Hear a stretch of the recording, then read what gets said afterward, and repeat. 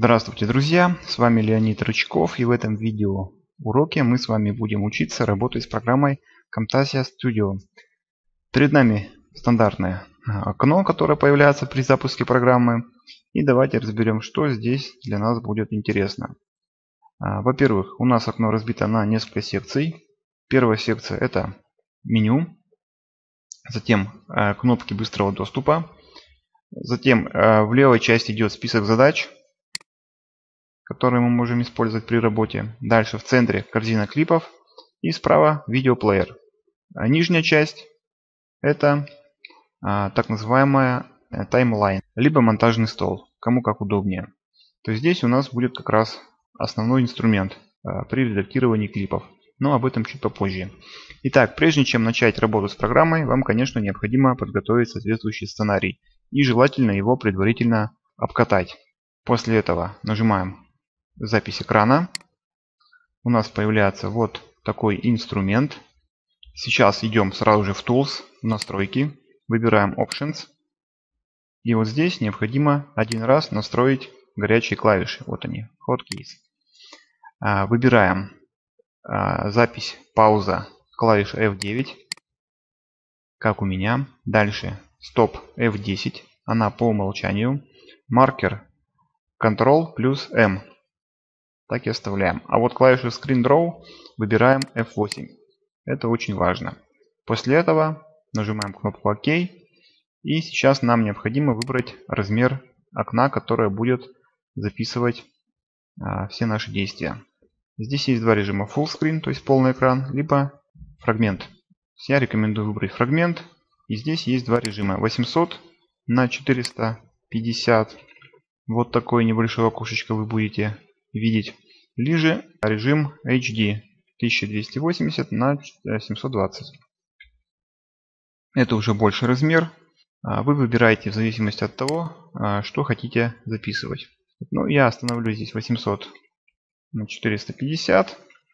Этого будет более чем достаточно. Итак, здесь мы видим настройки микрофона. Как раз я говорю и показывается чувствительность. Вы можете движочек перемещать вправо либо влево. А, далее и нажимаем кнопку Record, то есть запись. Так, у нас идет обратный отсчет. И после этого, вот сейчас мы можем с вами говорить. О том, что идет запись, сигнализируют вот эти вот мигающие треугольнички по краям э, выбранного окна. Так, если вам необходимо во время записи сделать паузу, нажимаем клавишу F9. У нас зеленые треугольнички перестали мигать стали зеленого цвета, это означает, что вы стоите на паузе. И вот здесь подпись написано резюме. Если я снова нажимаю клавишу F9, у меня треугольнички начинают мигать по краям окна и э, снова появляется здесь пауза. Ну, в принципе, вы этот, допустим, плеер видеть не будете. Он у вас вернется в системный трей, поэтому ориентируйтесь по зеленым треугольничкам, по мерцающим зеленым треугольничкам. А Допустим, вы отговорили первый блок, показали что-то, нажали F9, поставили на паузу, то есть сходили, допустим, водички попили, прокашлялись, прочихались там и что-то еще, а, почитали сценарий, успокоились, снова нажали клавишу F9 и продолжили свой рассказ. После того, как запись готова, нажимаем клавишу F10 или стоп. А, программа нам выдаст вот такое окошко. Здесь мы можем выбрать запись, то есть сохранить файл, удалить полностью наш видеоклип, выбрав Delete, либо отправить на редактирование. То есть клавиша Edit, значок такой. А, либо записать уже сразу диск. Но я рекомендую выбрать все-таки редактирование. Так, мы с вами это все сейчас сохраним. И посмотрим, как проводить редактирование уже отснятого материала. Тут есть несколько фишек. Так, профиль у меня вот это ОК. Раскрываем список, выбираем размер записи. Мы уже размеры настроили. ОК. Так, вот у нас клип, который мы только что с вами записали. Здесь у нас окно плеера. Мы можем его запустить, посмотреть. А внизу у нас так называемый таймлайн или монтажный стол. Можно масштаб увеличить для удобства. Я рекомендую, прежде чем приступать к монтажу, перейти в настройки звука вот они у нас здесь. выбрать выровнять уровень громкости и нажать кнопку удалить шум. То есть программа автоматически все лишнее без нашего участия отсортирует. Нажимаем ОК. И вот теперь мы можем переходить непосредственно к монтажу. Вот у нас здесь пики есть. С помощью вот этих двух маркеров мы можем, к примеру, убирать те области, которые нам необходимо исключить из нашей записи. Так, я масштаб сделаю побольше. Итак, допустим, я хочу вот этот промежуток или паузу убрать. я ставлю маркер в начало, удерживая левую кнопку нажатой. Делаю такую протяжечку. Выделяю фрагмент, нажимаю правую кнопку мыши и выбираю вырезать выделенное вырезали. К примеру, я хочу вот убрать вот этот пик. Ну, даже вот такой раздел. Также выделяю правой кнопкой вырезать.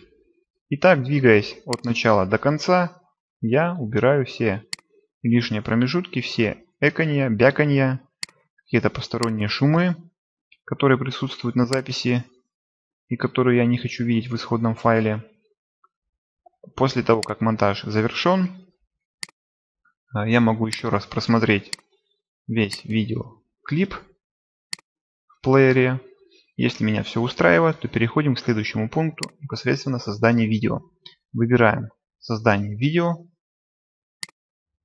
У нас появляется вот такое меню. Здесь сразу нажимаем кнопку «Далее».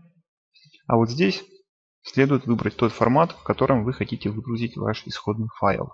Я рекомендую выбирать MP4 SVF для интернет-публикации. Также есть формат VMV, а, формат MOV, QuickTime, AVI и так далее. Даже есть MP3, только звук. Выбираете нужный вам формат, нажимаете «Далее». Здесь снова «Далее», ничего не трогаем. А вот здесь вы можете добавить водяной знак. То есть выбираем настройки. У нас появляется окно предварительного просмотра. У меня настроен правый нижний угол. Здесь у меня есть PNG специальный, подготовлен в Photoshop э, логотипчик. А, я выбирать могу различные эффекты, различные масштабы и положение с помощью вот этих кнопок и ползунков. Все это вы задаете, если вам надо. Нажимаете кнопку ОК. Если вам водяной знак не нужен, просто снимаете галочку, он исчезает. Затем жмем «Далее».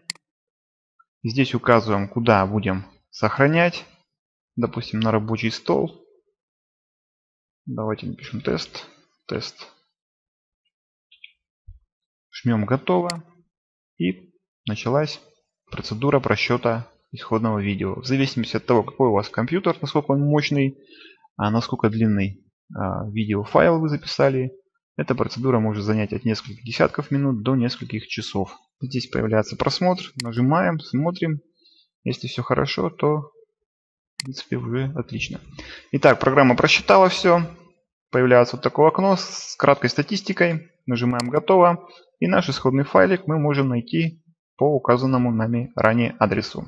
Итак, ваша задача подготовить сценарий какого-то небольшого обучающего видеоролика, отрепетировать его без записи сначала, затем записать с помощью Camtasia Studio, сделать редактирование вашей записи и а, выгрузить его в формате, ну, например, MP4, а затем просмотреть уже в каком-то медиаплеере. Сразу говорю, что у многих из вас с первого раза может не получиться, поэтому пробуйте второй, третий, десятый, двадцатый раз. То есть до тех пор, пока э, не получите а, более-менее приемлемое качество. Все приходит с тренировкой, с количеством действий. На сегодня у меня все. До встречи в следующих видеоуроках. С вами был Леонид Рычков.